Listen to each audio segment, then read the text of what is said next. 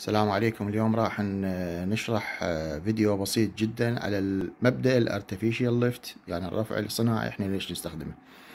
إذا تشوفون هنا عندنا perforation أكو هنا PWF ضغط الجريان ال PH ال hydrostatic pressure وعندنا ال P على السطح ال P surface اللي هو ال pressure surface هاي الضغوط الثلاثة اللي هو ال surface pressure ال hydrostatic pressure وال flowing pressure هذني هن الأساس قيمهن هن الأساس اللي راح يحدد لنا هل إحنا نقدر ننتج بالبير natural flow لو artificial lift هسه على سبيل المثال هذا البير مالنا هذا البير.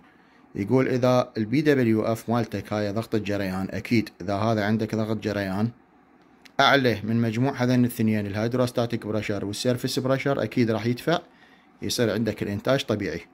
إذا هذا ال PWF أعلى من مجموع هذين الاثنين راح يدفع أكيد.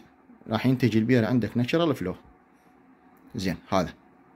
اذا ال PWF أكبر من مجموع ال hydrostatic pressure وال surface pressure أعلى من مجموع هذين الاثنين راح ينتج عندك البير طبيعي. هذا ال fluid column الموجود بداخل البير اللي يعطينا ال hydrostatic pressure لو إحنا ما ينتج البير شنو اللي راح يصير؟ مجموع هذين الاثنين ال surface pressure زائد ال hydrostatic pressure راح على اليمن يتغلب يتغلب على ال PWF. البير ما راح يدفع.